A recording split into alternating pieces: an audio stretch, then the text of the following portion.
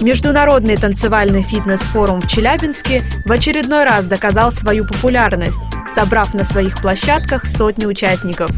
В их числе и профессиональные педагоги, и действующие танцовщики, и просто любители. Их, кстати, большинство. За 13-летнюю историю проведения форума вкусы поклонников менялись. Мы изучаем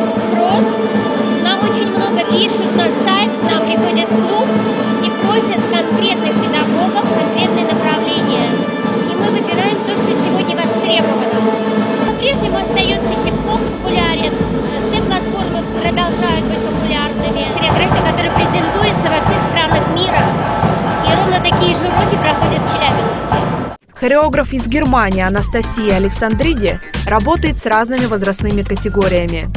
И танцуют на ее занятиях как юные, так и совсем взрослые ученики.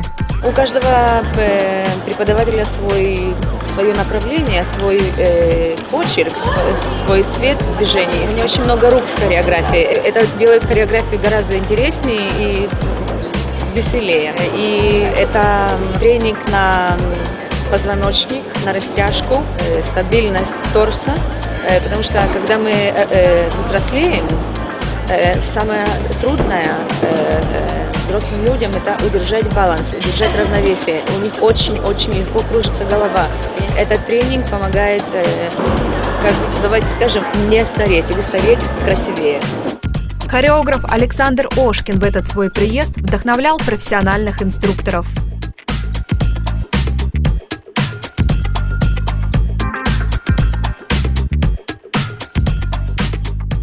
Обычно мучаю еще больше. Просто хотел показать, опять же, и танцорам, а, и фитнес-инструкторам, что фитнес это интересно. Просто многие, особенно там педагоги по фитнесу в регионах начали грустить, потому что они, ой, степ опять аэробика, там одно и то же, там не одно и то же.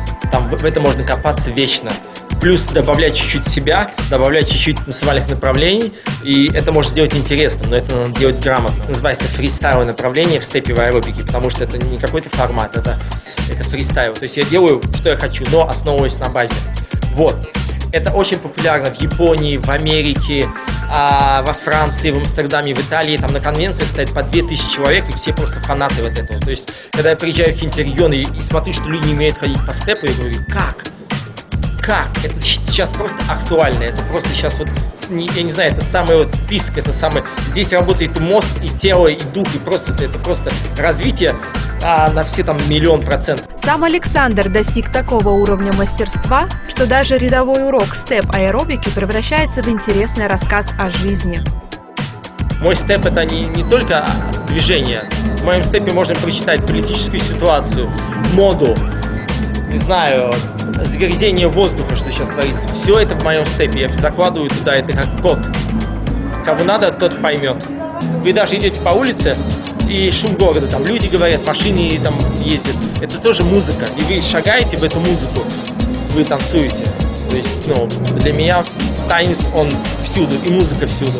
Улучшение осанки и координации, поддержание физической формы и хорошего настроения – у каждого из участников свой стимул заниматься танцами. Но всех их объединяет эмоциональная составляющая этого процесса. После тяжелой работы, учебы прийти, снять стресс. Я вот прям занималась целый час, у меня были мурашки, это очень круто. Масштабы поражают, конечно, не всегда такие мероприятия так поблизости, как в Челябинске, да, когда можно сесть и приехать и поучиться у профессионалов. Прям заряд энергии, этого что это очень потрясающе. У нас в Кургане вообще, в принципе, такое очень редко бывает, такое мероприятие. И для нас мы цепляемся за каждую возможность, чтобы схватить, выучиться и стать лучше, конечно. Саморазвитие самое важное. Я думаю, что очень много выводов для себя мы сделаем.